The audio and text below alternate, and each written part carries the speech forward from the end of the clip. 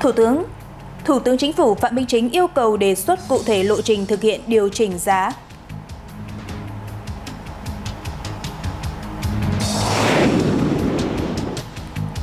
Bộ Công an tiếp tục đưa ra cảnh báo với người dân về những hệ lụy nguy hiểm của tệ nạn cá độ bóng đá qua mạng.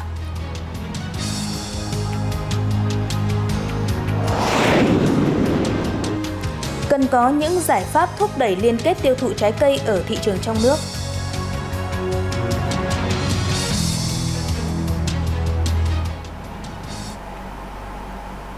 Xin kính chào quý vị và các bạn đang theo dõi bản tin kinh tế và tiêu dùng của truyền hình Công an Nhân dân. Thưa quý vị, Thủ tướng Chính phủ Phạm Minh Chính vừa ký ban hành công điện số 61 gửi Bộ trưởng, Thủ trưởng cơ quan ngang bộ, cơ quan thuộc Chính phủ, Chủ tịch Ủy ban Nhân dân các tỉnh, thành phố trực thuộc Trung ương về việc tăng cường các biện pháp quản lý, điều hành giá. Thủ tướng Chính phủ yêu cầu tiếp tục đẩy mạnh thực hiện kịp thời các ý kiến chỉ đạo của trưởng ban chỉ đạo điều hành giá trong phạm vi lĩnh vực quản lý đẩy mạnh tổ chức triển khai theo dõi sát diễn biến thị trường, kịp thời thực hiện giải pháp đảm bảo cân đối cung cầu trong nước, ổn định giá cả, không để xảy ra tình trạng thiếu hàng, găm hàng, đầu cơ, tăng giá bất hợp lý, theo dõi sát diễn biến giá của các hàng hóa chiến lược trên thị trường thế giới, diễn biến tình hình thế giới và khu vực, chủ động phân tích dự báo, kịp thời cảnh báo các nguy cơ tác động đến mặt bằng giá, đảm bảo thông suốt hoạt động cung ứng lưu thông, phân phối hàng hóa dịch vụ, nhất là đối với xăng dầu và các mặt hàng chiến lược có khả năng bị ảnh hưởng từ sự đứt gãy chuỗi cung ứng toàn cầu và xung đột căng thẳng địa chính trị tăng cường triển khai hiệu quả và giám sát thực hiện các biện pháp kê khai giá, niêm yết giá, công khai thông tin về giá theo quy định của pháp luật, tính toán, chuẩn bị sẵn sàng các phương án giá, lộ trình điều chỉnh giá để xem xét, quyết định khi cần thiết với mức độ thời điểm phù hợp, tránh gây xáo trộn lớn về mặt bằng giá cả, không tăng giá đột ngột hoặc tăng giá dồn vào cùng một thời điểm, bảo đảm mục tiêu kiểm soát lạm phát. Thủ tướng yêu cầu các bộ công thương, y tế, giáo dục và đào tạo, lao động thương binh và xã hội theo chức năng nhiệm vụ được giao khẩn trương giả soát, báo cáo đề xuất cụ thể lộ trình gắn với mức độ và dự kiến thời điểm thực hiện điều chỉnh giá các mặt hàng, dịch vụ thuộc lĩnh vực quản lý. Lực lượng biên phòng Lạng Sơn triển khai các biện pháp ngăn chặn các hành vi buôn lậu qua biên giới, cửa khẩu trong bối cảnh lưu lượng hàng hóa xuất nhập khẩu tăng cao thời điểm giữa năm 2024, lưu lượng phương tiện và hàng hóa được thông quan xuất nhập khẩu qua các cửa khẩu, lối thông quan của tỉnh Lạng Sơn tăng cao với khoảng từ 1.200 đến 1.400 xe một ngày. Trước tình hình đó thì song song với việc tăng cường quân số, điều tiết phương tiện ra vào cửa khẩu nhanh chóng thuận lợi, lực lượng biên phòng Lạng Sơn đã triển khai các biện pháp nghiệp vụ để ngăn chặn các hành vi buôn lậu qua biên giới cửa khẩu. Bộ Chỉ huy Bộ đội Biên phòng tỉnh Lạng Sơn đã chỉ đạo các đơn vị thuộc lực lượng tăng cường thu thập thông tin, nắm chắc tình hình, tuần tra kiểm soát chặt chẽ khu vực biên giới, không để hình thành các tụ điểm kho, bãi tập kết, chứa hàng hóa nhập lậu trong khu vực cửa khẩu biên giới, phối hợp chặt chẽ với cấp ủy đảng, chính quyền địa phương khu vực biên giới, đẩy mạnh tuyên truyền, vận động nhân dân chấp hành nghiêm các quy định pháp luật, không tham gia tiếp tay và tích cực đấu tranh, tố giác tội phạm buôn lậu, vận chuyển trái phép hàng hóa qua biên giới cửa khẩu. Thưa quý vị, từ nguồn vốn của trung ương và địa phương, trong đó có nguồn vốn các chương trình mục tiêu quốc gia, huyện miền núi Khánh Sơn đã và đang đầu tư nhiều công trình hạ tầng thiết yếu. Bên cạnh đó thì địa phương cũng đang nỗ lực kêu gọi thu hút đầu tư các dự án thuộc nhiều lĩnh vực trọng điểm như là du lịch, bất động sản, dịch vụ thương mại nhằm thúc đẩy phát triển kinh tế xã hội, phát triển à, huyện Khánh Sơn trở thành tiểu đô thị sinh thái núi rừng theo nghị quyết 09 của Bộ Chính trị. Đây là dự án xây dựng tuyến đường từ thị trấn Tô Hạp đi thôn Hòn Dung, xã Sơn Hiệp, có tổng mức đầu tư 40 tỷ đồng từ nguồn vốn chương trình mục tiêu quốc gia giảm nghèo bền vững. Khi hoàn thành, công trình sẽ đáp ứng được nhu cầu đi lại của người dân, góp phần hoàn thiện hạ tầng giao thông trên địa bàn. Cùng với dự án này, năm 2024, huyện Khánh Sơn còn đầu tư nhiều công trình để hoàn thiện cơ sở hạ tầng với tổng mức đầu tư khoảng 300 tỷ đồng, xây dựng nhà ở cho hộ nghèo thuộc chương trình phát triển kinh tế xã hội vùng đồng bào dân tộc thiểu số và miền núi có tổng mức đầu tư 69 tỷ đồng. Rất thuận tiện trong vấn đề giao lưu, À, phát triển hàng hóa cũng như là phát triển nông nghiệp.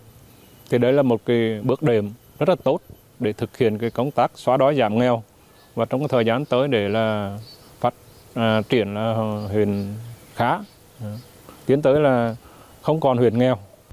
các công trình, dự án trọng điểm đã và đang được huyện triển khai sẽ thúc đẩy phát triển kinh tế xã hội của địa phương, nhất là vùng đồng bào dân tộc thiểu số. Nhiều dự án phát triển hạ tầng giao thông được đầu tư đồng bộ có trọng tâm trọng điểm, kết nối giữa các vùng sản xuất, đảm bảo sự phù hợp với quy hoạch, kết nối hài hòa giữa đường tỉnh, đường huyện và đường xã, giúp giao thông thuận tiện, vận chuyển nông sản được thuận lợi và phát triển các vùng sản xuất chuyên canh. Chúng tôi sẽ chú trọng nâng cao cái chất lượng công tác quy hoạch và quản lý thực hiện quy hoạch để phục vụ cho cái nhu nhu cầu phát triển kinh tế xã hội. Xây dựng và hoàn thành cái quy hoạch vùng huyện Khánh Sơn đến năm 2030 và tầm nhìn đến năm 2050 cái này là trong năm 2024 thì chúng tôi mới sẽ quyết tâm hoàn thành để phát triển Khánh Sơn trở thành tiểu đô thị sinh thái núi rừng theo nghị quyết 09 của Bộ Chính trị. Ngoài nguồn vốn của Trung ương và của tỉnh, địa phương đang nỗ lực kêu gọi đầu tư từ nguồn vốn ngoài ngân sách để xây dựng Khánh Sơn trở thành vùng du lịch sinh thái với những giá trị văn hóa đặc trưng, độc đáo, mang đậm bản sắc dân tộc, lồng ghép không gian sinh thái nông lâm nghiệp, định hướng phát triển theo mô hình tiểu vùng sinh thái rừng trên cơ sở hình thành các đô thị có mật độ cây xanh, sinh thái cao, thân thiện với thiên nhiên, kiến tạo các vành đai xanh, hạ tầng xanh nhằm từng bước đưa Khánh Sơn trở thành điểm đến độc đáo của tỉnh. Để đảm bảo cho các cái chương trình mục tiêu quốc gia mà được triển khai một cách đồng bộ và có cái số lượng giải ngon tốt tôi đề nghị là lãnh đạo huyện, lãnh đạo các phòng ban là các ông chí tiếp tục bám sát vào các cái chủ đề tài để chúng ta triển khai trong giai đoạn 2021-2025, Khánh Sơn có 17 dự án thuộc danh mục dự án trọng điểm kêu gọi vốn đầu tư ngoài ngân sách. Cụ thể, lĩnh vực du lịch có các dự án như khu du lịch sinh thái Tà Gụ, khu du lịch Đồi Thông cùng ở xã Sơn Hiệp, khu du lịch Suối Giá, xã Ba Cụm Bắc, Trekking Tà Giang, xã Thành Sơn, khu du lịch Đồi Thông, xã Ba Cụm Nam. Lĩnh vực bất động sản có các dự án như khu đô thị sinh thái Tô Hạp Central Park, khu đô thị sinh thái Bắc thị trấn Tô Hạp, đường Đinh Tiên Hoàng, Ngoài ra còn có 115 ha được địa phương quy hoạch để đầu tư các dự án thuộc lĩnh vực công nghiệp, chế biến nông sản, thương mại và dịch vụ.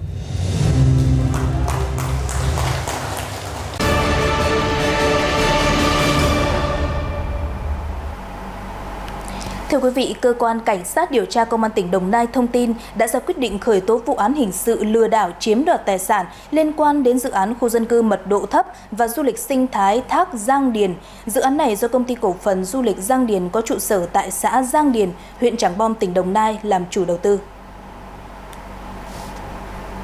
Theo cơ quan cảnh sát điều tra, công ty cổ phần du lịch Giang Điền chưa được cơ quan có thẩm quyền chấp thuận chủ trương đầu tư, giao đất, chuyển đổi mục đích sử dụng đất và chưa đủ điều kiện bán đất nền tại khu B và khu C của dự án. Tuy nhiên, công ty cổ phần du lịch Giang Điền trực tiếp cũng như thông qua các công ty môi giới bất động sản có hành vi quảng bá, giới thiệu và ký kết hợp đồng bán đất nền tại khu B và khu C của dự án. Từ năm 2010 đến 2018, công ty cổ phần du lịch Giang Điền đã ký kết khoảng 1.267 hợp đồng mua mua bán đất nền tại dự án với các khách hàng, nhà đầu tư để thu lợi số tiền đặc biệt lớn hơn 1.000 tỷ đồng.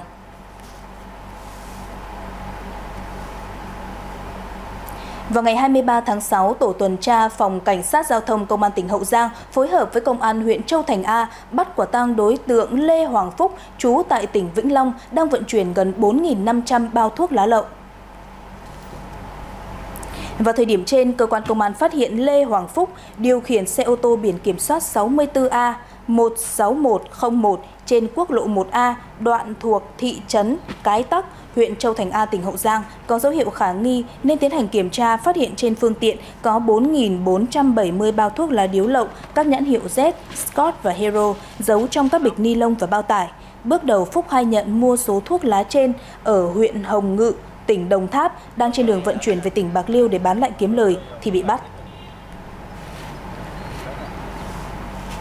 Đối tượng Đinh Văn Vinh sinh năm 1982 ở tại xã Thuận Hòa, huyện Hàm Thuận Bắc vừa bị công an huyện Hàm Thuận vừa bị công an huyện Bắc Bình, tỉnh Bình Thuận bắt giữ khi đối tượng này đang vận chuyển khoảng 426 kg pháo nổ vào trưa ngày 23 tháng 6 năm 2024 trên tuyến quốc lộ 28B thuộc xã Sông Bình, huyện Bắc Bình.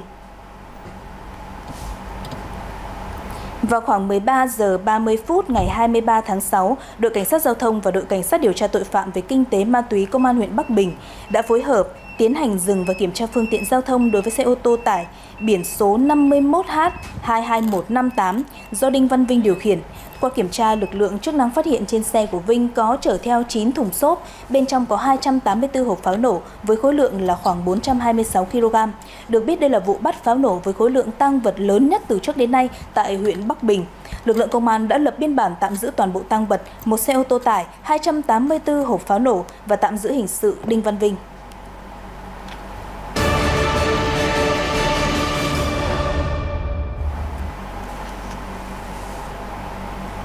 Thưa quý vị, Bộ Công an mới đây đã đưa ra cảnh báo đến người dân về tệ nạn cá độ bóng đá trong mùa giải Euro 2024. Cá độ bóng đá là hình thức cờ bạc đã tồn tại từ lâu, trong giai đoạn hiện tại thì lợi dụng triệt để không gian mạng, hình thức và thủ đoạn của các đối tượng ngày một tinh vi hơn. Tuy nhiên thì lực lượng công an khẳng định cá độ bóng đá trên mạng dù có che giấu như thế nào cũng không à, cũng đều để lại những dấu vết và đồng thời thì Bộ Công an cũng đang tiếp tục đưa ra cảnh báo với người dân về những hệ lụy nguy hiểm của tệ nạn này.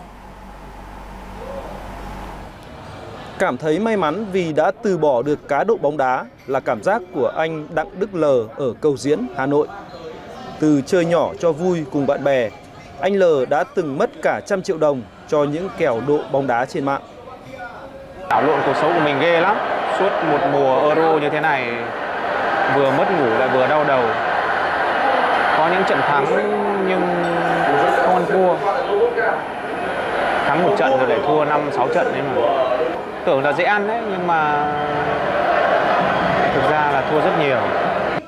Giải trí, xem bóng đá là nhu cầu chính đáng của mọi người, nhưng trong quá trình xem cũng rất dễ sa ngã vào con đường cá độ. Bởi hiện nay, các hình thức cá độ online đang tìm rất nhiều cách tiếp cận với người xem bóng đá trực tuyến, không xem qua TV thông thường. Và hầu hết các cái trang à, khi mà tiền kết quả tìm kiếm trên những cái trang web à, lớn ấy, thì nó ra rất là nhiều cái trang mà chúng ta có thể vào tham gia cá cược được. Ngay cả việc mà gửi tiền để có thể là là là tham gia vào chương trình cá cược thì rất là tiện chỉ cần là chuyển khoản cho một à, cái tài khoản nhất định là có thể là trong tài khoản của mình ở trên trang cá cược đấy là có thể có ngay và tham gia cá cược thì cũng chỉ mất có độ khoảng đâu đó một hai phút thôi. Lực lượng công an cho biết dù liên tục sử dụng các biện pháp kỹ thuật để ngăn chặn các đường link phát tán website cá độ bóng đá trực tuyến, nhưng các đối tượng vẫn liên tục tìm cách lập ra những đường link mới nhằm đối phó. Tuy nhiên, những hành vi cá độ sẽ đều được lưu vết trên không gian mạng. Nghĩ là cái lực lượng chức năng khó coi như kiểm soát, phát hiện và xử lý, nhưng mà chúng tôi luôn luôn có những biện pháp giải pháp phù hợp, luôn luôn đi trước đón đầu, nhận diện tội phạm mà sử dụng cái bản biện pháp nghiệp vụ phù hợp, chủ động ờ, như là phát hiện và đấu tranh xử lý các ổ nhóm đường dây hoạt động không gian mạng để thực hiện các cái hành vi tội phạm và vi phạm liên pháp luật liên quan đến đến cờ bạc. Do đó rất nhiều những cái đường dây tội phạm tưởng rằng là các cái thủ đoạn rất tinh vi che giấu um, hoạt động trên không gian mạng nhưng mà chúng tôi vẫn coi như chủ động phát hiện đấu tranh triệt phá thành công. Từ đầu mùa Euro 2024 đến nay mới diễn ra hơn một tuần, lực lượng công an nhiều địa phương đã bóc gỡ được nhiều ổ nhóm đường dây cá độ bóng đá với quy mô lớn. Điển hình như tại Đà Nẵng, lực lượng công an vừa triệt phá đường dây cá độ bóng đá với tổng giao dịch ước tính trên 1.000 tỷ đồng, bắt giữ 12 đối tượng. Tại Quảng Bình, lực lượng công an bắt giữ 6 đối tượng cá độ bóng đá qua mạng Internet với giao dịch trên 10 tỷ đồng. Bộ Công an tiếp tục đưa ra khuyến cáo với người dân cần tuyệt đối nói không với hành vi cá độ bóng đá. Đây là hành vi có thể bị truy cứu trách nhiệm hình sự và đặc biệt đây cũng được coi là tội phạm nguồn của các loại tội phạm khác như cho vay lãi nặng, trộm cắp, cướp của giết người. Tiếp theo mời quý vị đến với những tin tức kinh tế đáng chú ý khác trong kinh tế phương Nam.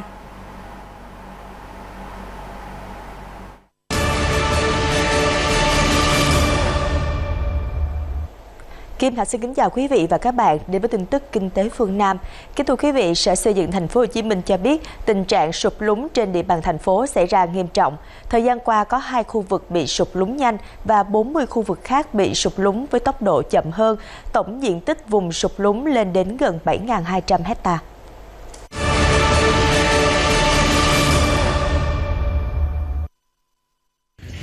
Khu vực bị sụp lún nhiều nhất đo được là 28 mm, trong đó diện tích vùng lúng nhanh với hơn 15 mm một năm là 356 hecta và diện tích vùng lúng tương đối nhanh với tốc độ từ 10 đến 15 mm một năm là 2.440 hecta. Diện tích vùng lúng trung bình với tốc độ từ 5 đến 10 mm một năm là gần 4.400 hecta.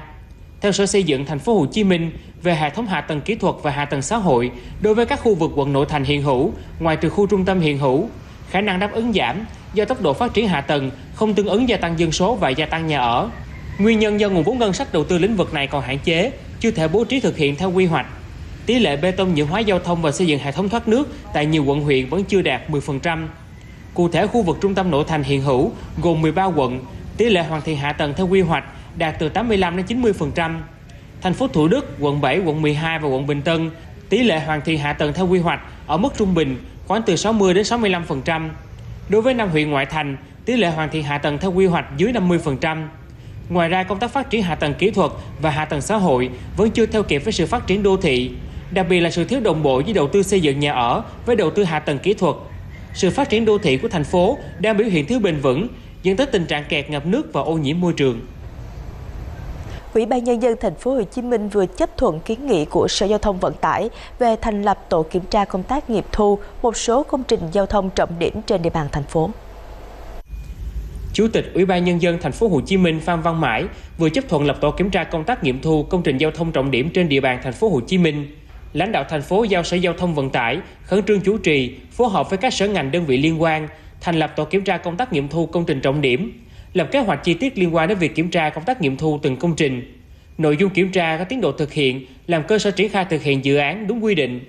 Trường hợp phát sinh khó khăn vướng mắc vượt thẩm quyền thì sở báo cáo và đề xuất Ủy ban nhân dân thành phố Hồ Chí Minh xem xét đảm bảo chất lượng tiến độ các dự án. Theo Sở Giao thông Vận tải, thành phố đang triển khai nhiều công trình giao thông trọng điểm, các dự án nhóm A có quy mô lớn, tính chất kỹ thuật phức tạp, cùng nhiều hạng mục công trình thuộc chuyên ngành quản lý của nhiều sở ngành đơn vị liên quan như giao thông, cấp thoát nước, cây xanh, chiếu sáng, cấp điện, viễn thông. Ủy ban nhân dân thành phố Hồ Chí Minh đã thành lập ban chỉ đạo các công trình dự án trọng điểm thành phố để kịp thời giải quyết các khó khăn vướng mắt, thúc đẩy việc triển khai các dự án để nhanh tiến độ giải ngân đầu tư công.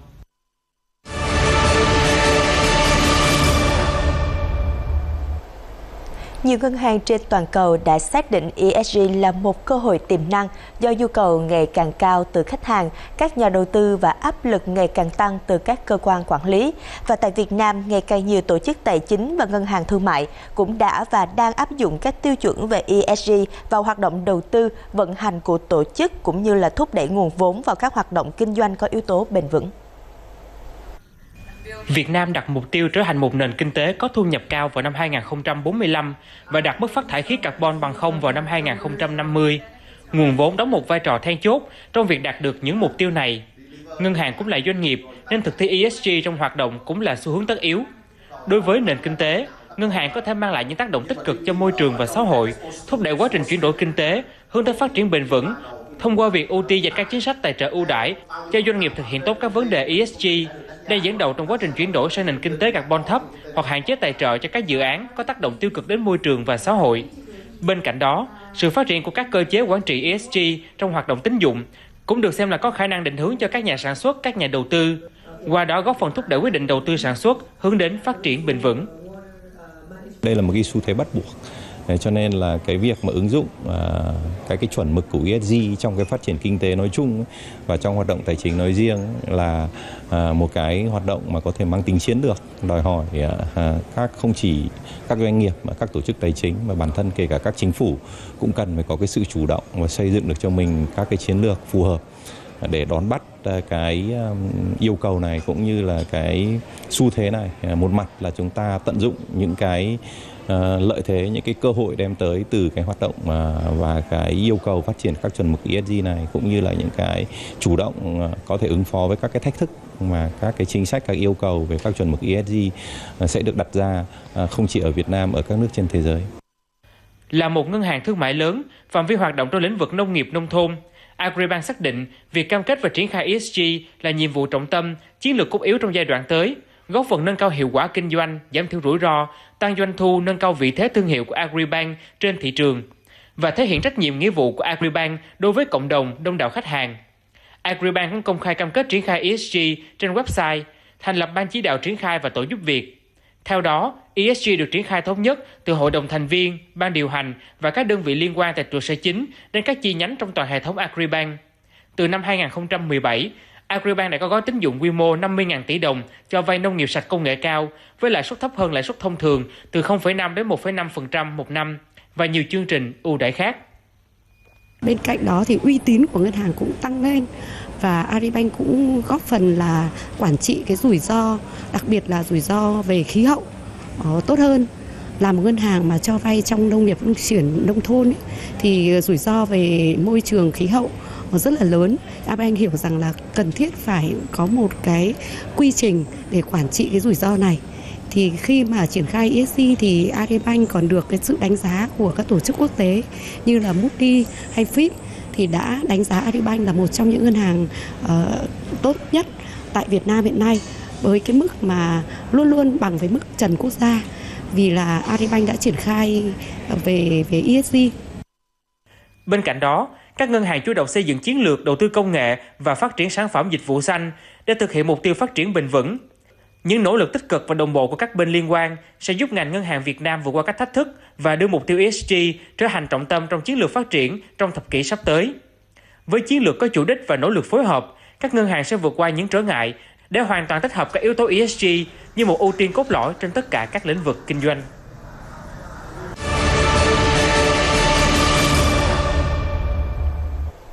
Cao điểm hè năm nay, các hãng hàng không Việt Nam đã tăng cường chuyến bay đêm nhằm tăng tải để hạ nhiệt giá vé máy bay. Tuy nhiên, thì khách du lịch băn khoăn về thời gian di chuyển, nơi lưu trú và sức khỏe để thoải mái tham quan và trải nghiệm điểm đến.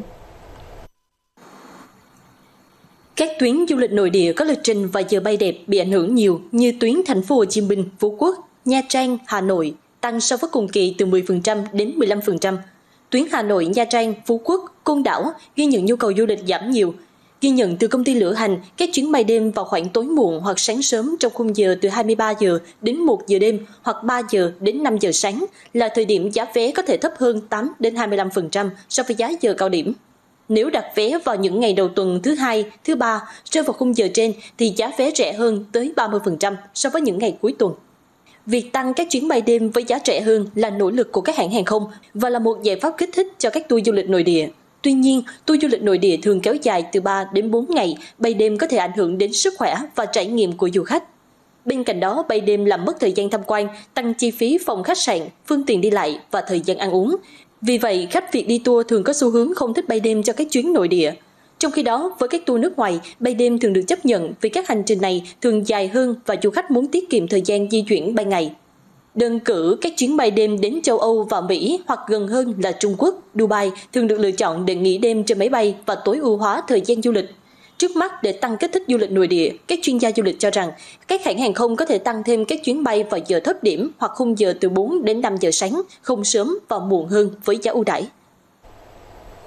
Việt Nam vừa ra mắt thêm một tuyến tàu du lịch mang đến cho du khách những trải nghiệm độc đáo với khung cảnh ven biển tuyệt đẹp và dịch vụ trà chiều cao cấp. Tuyến tàu này kết nối hai điểm đến nổi tiếng Nha Trang và Quy Nhơn, kéo dài 5 giờ đồng hồ. Tuyến đường mới mang lại cho du khách cơ hội chiêm ngưỡng thêm nhiều cảnh quan kỳ vị của Việt Nam. Tuyến tàu này sẽ được gắn vào đoàn tàu thương mại do Tổng công ty Đường sắt Việt Nam vận hành chạy dọc khắp đất nước Tuyến đường tàu từ Nha Trang đến Quy Nhơn đi qua nhiều khu vực ven biển hơn so với tuyến tàu Đà Nẵng Quy Nhơn. Du khách sẽ được đi qua một số vịnh và bờ biển đẹp nhìn ra biển Đông, cùng với những đồi núi và nhiều cánh đồng lúa ao sen. Với tốc độ trung bình gần 52 km một giờ, du khách trên chuyến tàu Quy Nhơn Nha Trang sẽ có đủ thời gian để thưởng thức sách trà chiều miễn phí, bao gồm trứng cá muối địa phương, phô mai thủ công, thịt nguội và trà cao cấp Việt Nam. Đối với hành trình 6 giờ trên chuyến tàu từ Đà Nẵng đến Quy Nhơn, hành khách sẽ được phục vụ một bữa ăn ba món đã đặt trước Ngoài ra, hành khách trên cả hai chuyến tàu sẽ được phục vụ đồ ăn nhẹ miễn phí, rượu vang, cocktail, mocktail, trà, cà phê và nước ngọt không giới hạn, cùng với liệu pháp massage đầu và vai 15 phút. Toa tàu hạng sang được trang bị một quầy ba ngồi, nhà vệ sinh và 6 khoang riêng dành cho hai người. Mỗi khoang đều có đầy đủ tiện ích wifi miễn phí và gió tiện nghi với gối chăn và các vật dụng cần thiết khác. Chi phí cho một chuyến khoảng 10 triệu đồng một chiều cho mỗi người. Tuyến đường mới khởi hành từ ga Nha Trang lúc 14 giờ đến ga Diêu Trì ở Quy Nhơn lúc 18 giờ 29 phút. Đối với những hành khách muốn trải nghiệm ngược lại, sẽ có chuyến tàu khởi hành từ ga Diêu Trì lúc 14 giờ 15 phút và đến ga Nha Trang lúc 18 giờ 36 phút.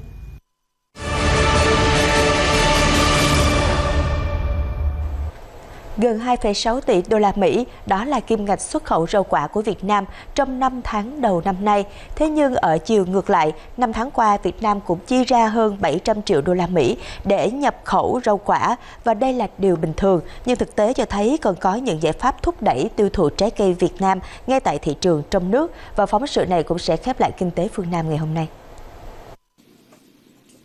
Anh Trí tìm mọi cách để lúc nào cũng là người đầu tiên trồng giống nho mới. Cũng như vậy, khu vườn này luôn có sức hút riêng đối với người tiêu dùng. Thay vì mua nho ngoại nhập, họ lại chọn mua ngay sản phẩm nho ở đây.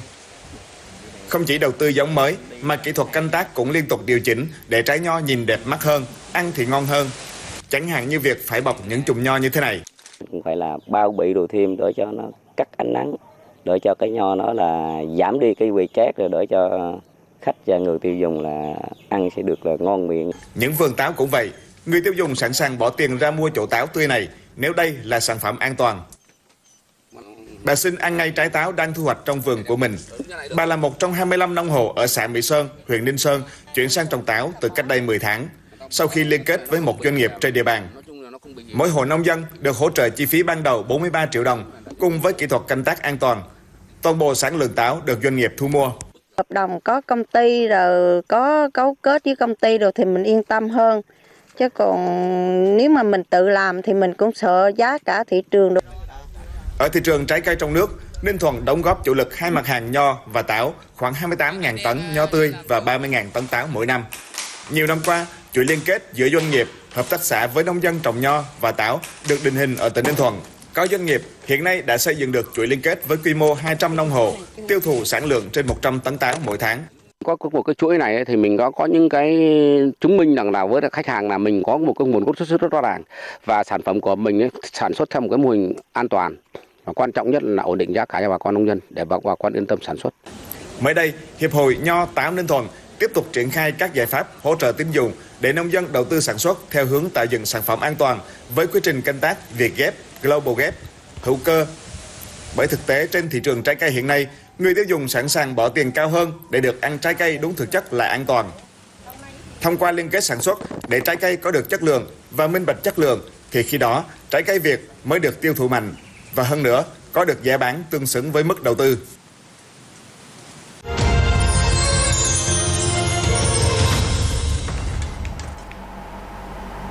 Bản tin kinh tế và tiêu dùng đến đây cũng xin được khép lại. Cảm ơn quý vị đã dành thời gian quan tâm theo dõi. Kính chào tạm biệt và hẹn gặp lại.